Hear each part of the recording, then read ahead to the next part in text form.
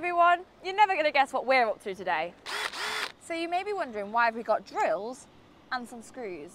Well that's because we're going to drill some screws into the tyre to see just how well the ContiSeal works. Did you know that punctures are the most common reason for the AA having to be called out? Well, Continental tyres have a solution and it's called ContiSeal.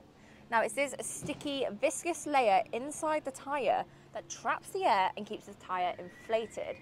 Now it will cover 80% of all punctures, meaning you don't need to carry a spare. We will be using this Mercedes EQA and fitting a Continental PremiumContact 6 with ContiSeal. Everything will be fitted and balanced like normal and then we'll be testing the pressures before drilling the screws in.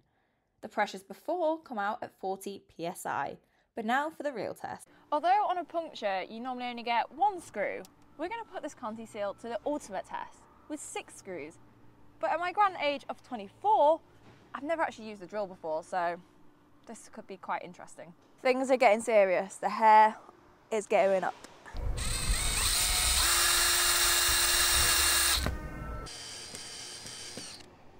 One down, five to go.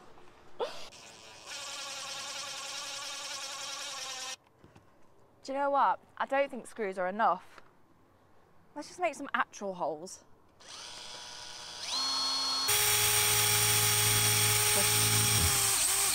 Now we've got the screws in there and plenty of holes drilled in and all 10 fingers, it's time to see if the ContiSeal has actually worked by going for a drive.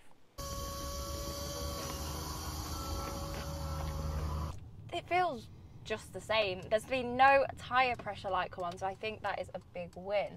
In terms of how it benefits yourself, so the customers, I mean, it means you've got uninterrupted driving. You're not having to stop and wait for the AA to come and rescue you. You can just keep going to your destination and then some.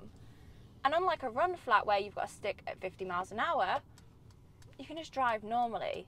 Sometimes you may not even know that you've got a puncture. And a big win is it means you're going to save a bit of money because you're not having to replace your tyre or even in some cases get a puncture repair.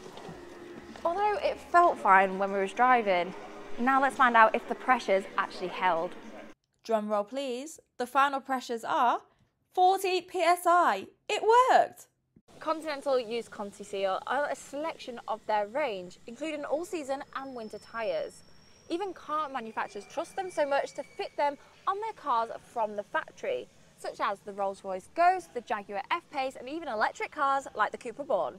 Here are some things you should know about Conti Seal. It works for a puncture up to 5mm in diameter and only within the centre of the tread.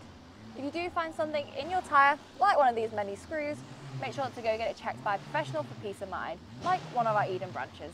Well, I'd say that was a pretty successful experiment because the ContiSeal did everything Continental said it would do. It maintained the pressure even after being driven on with many screws and holes drilled into it. But if you guys want to find out more, head to edentyres.com.